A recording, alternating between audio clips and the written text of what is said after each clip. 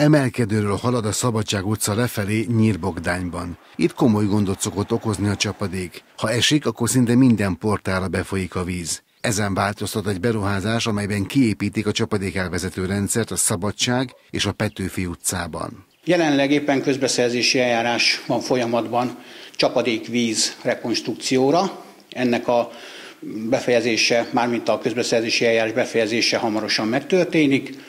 Második üteme egy toppos pályázatnak ez a beruházás. A település két jelentős utcájában, a Petőfi utcában és a Szabadság utcán fogjuk végrehajtani ezeket a felújításokat.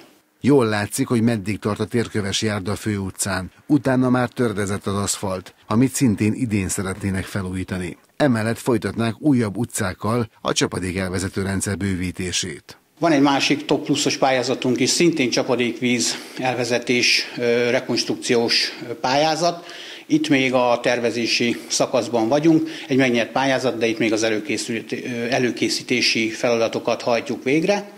Illetőleg jelen pillanatban más pályázati forrással még nem rendelkezünk, nem tudjuk még a pályázati lehetőségeinket, de a költségvetésünket úgy állítottuk össze, hogy amennyiben lesznek pályázatok, akkor a saját erőbiztosítása az megoldott legyen, és hát vannak olyan merész terveink is, hogy pályázati források nélkül szeretnénk két komolyabb beruházást is megvalósítani, hogyha erre nem lesz lehetőség a pályázatokon keresztül, ez pedig a főutca járda felújítása, illetőleg a Szabadság utcának az út, útszélesítését a tavalyi évben elvégeztük, és az idei évben pedig ennek az út szakasznak teljes egy új aszfalt szőnyeget szeretnénk biztosítani.